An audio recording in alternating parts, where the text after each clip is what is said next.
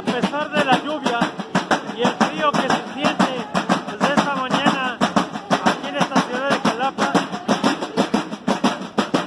los integrantes de la Federación Nacional de Estudiantes Revolucionarios, Rafael Ramírez, se están manifestando en nacionales. La Plaza Lerdo el gobierno. llevaron a cabo una manifestación. Nosotros organizados en la en la puerta principal. de Palacio de Gobierno. El motivo, estamos exigiendo Escuchen. al gobernador del estado el transporte. Aunque ya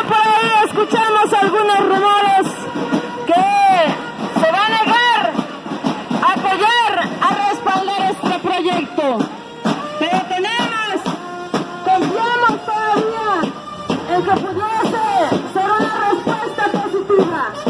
Porque a partir del día de mañana tendrían que estar saliendo este transporte, estos autobús, para que estos más de mil estudiantes deportistas puedan acudir a participar